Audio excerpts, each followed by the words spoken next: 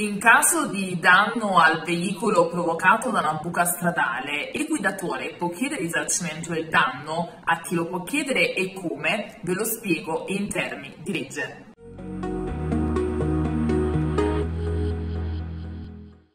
Allora, rispondiamo subito che il guidatore sì, può chiedere risarcimento del danno e lo può chiedere all'ente che è proprietario di quel tratto stradale, quindi può essere sia un ente privato che un ente pubblico. Nello specifico il danneggiato deve inviare la richiesta di risarcimento o tramite raccomandata oppure tramite PEC.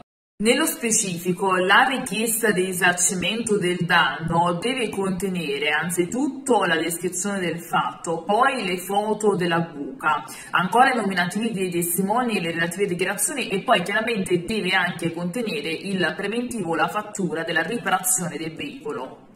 Attenzione però, ricordiamo che il diritto al risarcimento si prescrive nei termini due anni a partire dal giorno in cui è accaduto il fatto dannoso. Per maggiori informazioni, come sempre, continuate a seguirci su tutti i nostri canali social.